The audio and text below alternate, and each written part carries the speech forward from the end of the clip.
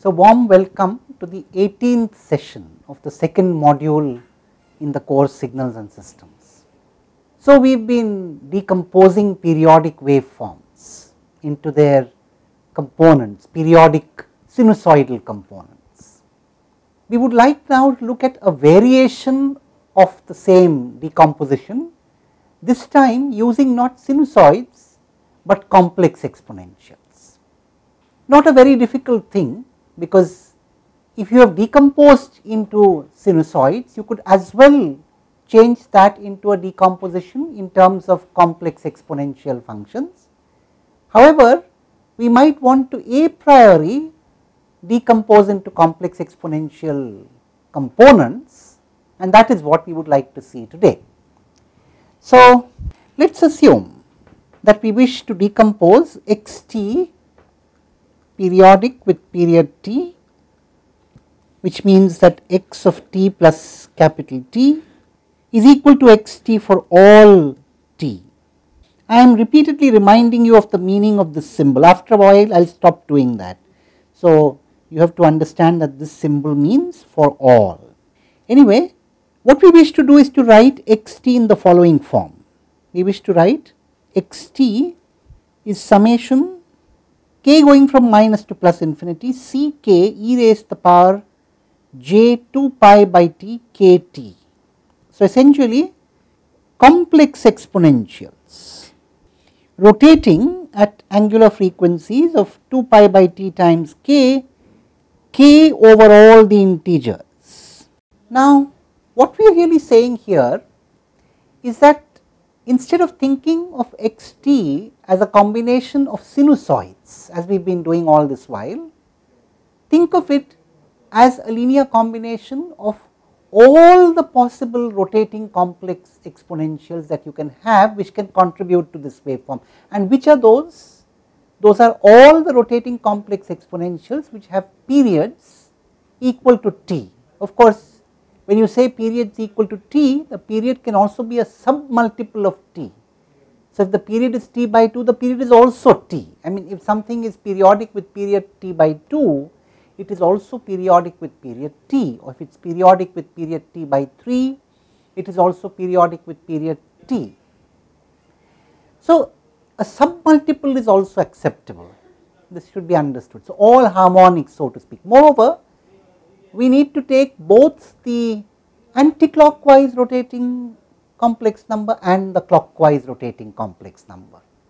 In fact, if you look at it, when we talked about the sinusoid, at every frequency, at every angular frequency, we had two orthogonal components, a sine component and a cosine component. Now, here the two orthogonal components are not going to be sine and cosine, but one complex exponential rotating in the anticlockwise direction and the other complex exponential rotating in the clockwise direction. So, the first thing we need to do is to show the orthogonality of these rotating complex exponentials over the period t and we will now do that. So, what we want to do is to prove we want to prove that these two rotating complex exponentials e raised to the power j 2 pi by t k t and e raised to the power j 2 pi by t l t are orthogonal for integers k not equal to l over a period t of course. Very easy, just take their dot product or their inner product to use formal language. Complex conjugate the second argument and integrate with respect to t for an interval of t. Now, what this means is any contiguous interval of t. You know, you could take all these possible examples for a contiguous interval. It could be for example, 0 to t or it could be minus t by 2 to plus t by 2 or whatever, any contiguous interval of that is what is meant here. Now, we need to evaluate this integral. So, the integral going back to the previous one, we are trying to evaluate this integral here and that is very easy to do. it is simply integral over any, let us take 0 to t, does not matter, e raised to the power j 2 pi by t k minus L into t dt and remember k is not equal to L. This is a very easy integral to evaluate. It simply e raised to the power j 2 pi by t k minus L times t divided by the argument except for t. So, j 2 pi by t k minus L evaluated from 0 to t. Now, this is equal to e raised to the power j 2 pi into k minus L of course, t and t cancel minus when you substitute t equal to 0 here you would get 1. So, minus 1 divided by j 2 pi by t into k minus L. Remember k is not equal to L.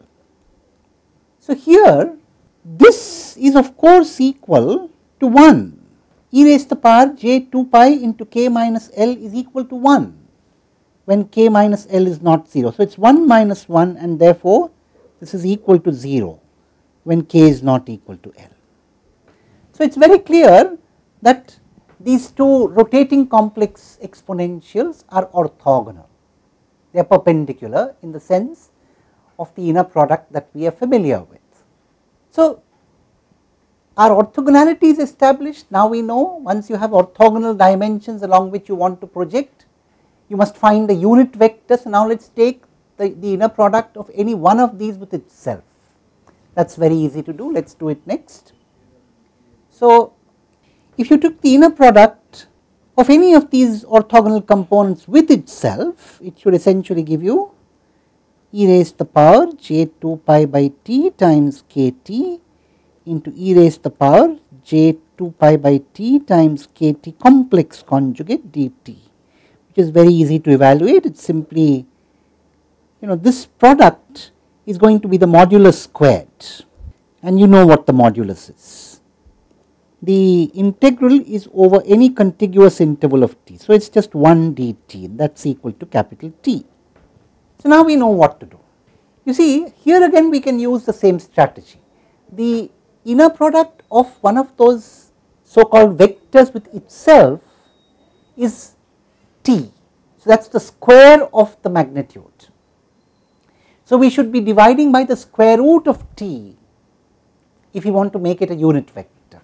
But instead of trying to divide by the square root of t on both sides, on the side of decomposition and on the side of reconstruction, we might as well divide by t on one of the two sides.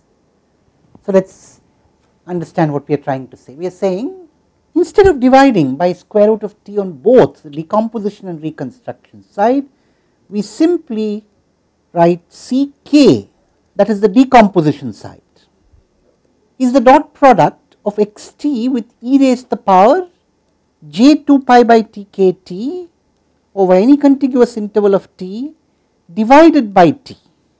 So, here what we have done is to absorb the square root of t which you would have put on the decomposition side and on the reconstruction side together on the decomposition side. So, as to avoid the square root business.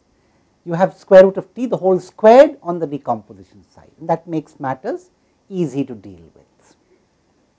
So, now we have a very clear beautiful simple and elegant relationship let us write that down in total x t a periodic waveform with period t the complex exponential decomposition and we call this a Fourier series decomposition, complex exponential Fourier series decomposition.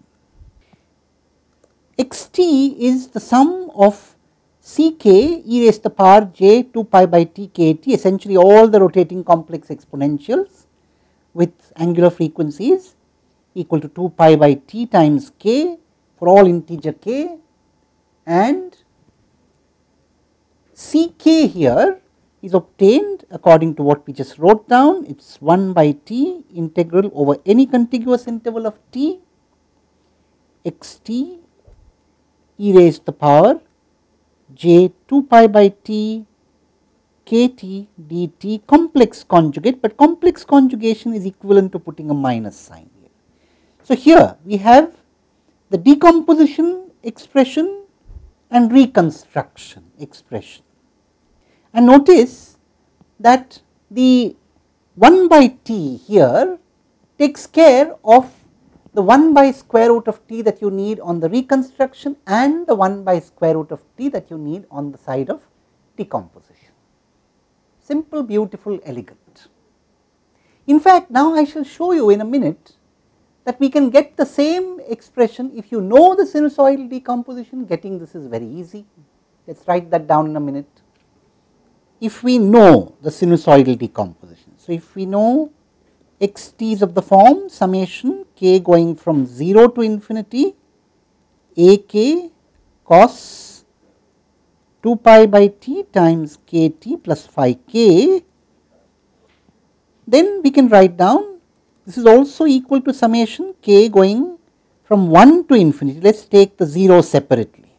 a k by 2 e raised to the power j 2 pi by t times kt into e raised to the power j phi k plus the conjugate of this and a 0 will be taken separately. Constant is 0 frequency. These are all the positive k's and these are the negative k's. And of course, you also have the ck's. So, for example, these are the ck's and correspondingly you could get the C k's for k negative just by comparing terms. We shall see more about these decompositions in the next session. Thank you.